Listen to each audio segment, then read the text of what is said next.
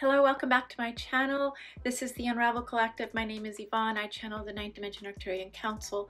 And I want to start off by saying um, thank you so much to those of you who have responded um, to the May Q&A with the Arcturians. I have received your emails. I just haven't had a chance to respond back to you. So I just want to take a moment now to say thank you for your feedback. Thank you for letting me know how deeply it resonated with you, how deeply um, it impacted you, that the guidance and advice, sorry, my nose is really itchy.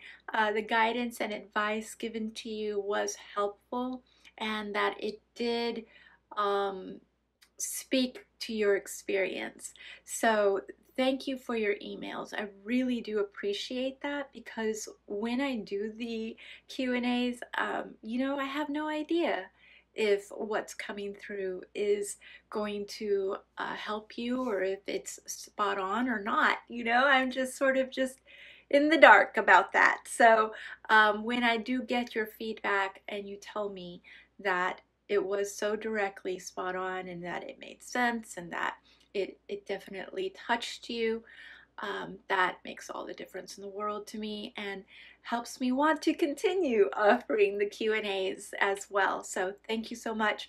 For those of you who don't know, I do offer a Q&A with the Ninth Dimension Arcturian Council. It's going to be the first Saturday of every month. So the last Saturday of every month is when I will remind you to submit your questions and or go ahead and go to my website. The link is down below um, subscribe to my email list so that you will always be reminded of when it's time to submit your question.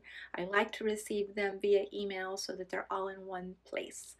Okay, now let's get started with today's um, transmission. And I am sorry I'm late. It's Monday. I usually release videos on Saturday uh, but I didn't have time this weekend so here we are. It's Monday. I'm getting it out I did this transmission earlier today, so I'm just going to go ahead and share it with you. I had the question of how do we connect to our spirit guides? This is what I asked them today. So I hope this is of interest to you because I get these questions a lot in the Akashic Records readings I do. So I figured why don't we ask the Arcturians about how do we better connect with our spirit team, our spirit guides. So if you're interested in hearing what they had to share with us, please stick around. All right, so here is what the Arcturians had to share about how to connect to our spirit guides. This is a beautiful question, and we know that many of you feel separated from your spiritual guides or your spiritual team. And what we would like to remind you is that you are not separated from them. They are available to you at all times. All you need to do is speak to them as if you were speaking to a friend. They are here with you, some of them at different points of your life, some of them for the entirety of your life. But regardless, there is always many guides in many different realms assisting you on the earth plane. You have past loved ones as well who are assisting you who are nudging you into different directions or perhaps saving you from an experience that they feel would not be beneficial to you in this moment. Of course, all experiences are up to you. However, there are times where a loved one will push you to have an impulse to go in a different direction in order to save you from an experience that perhaps is not meant to be in the timeline of which it is occurring in that moment.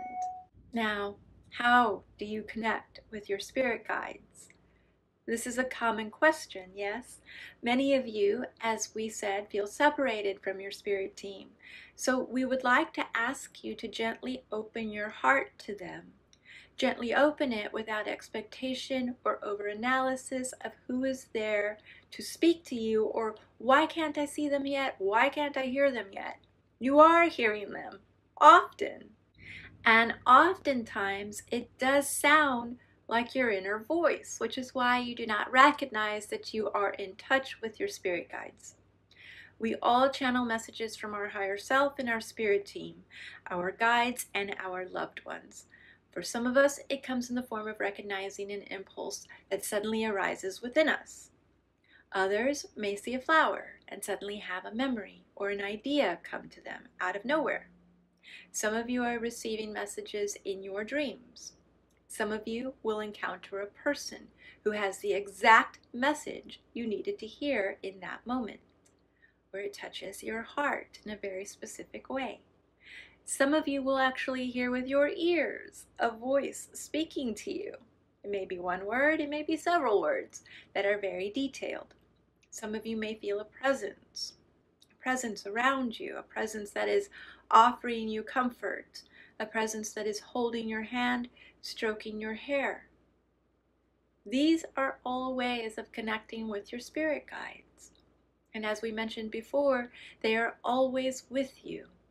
You can call on them at any time. They are your assistants. They are your companions. They are your cheerleaders. They are your friends. And they understand that the earth plane is a difficult and challenging place to be which is why they are constantly with you, assisting you and offering you the chance and opportunity to move through things with ease.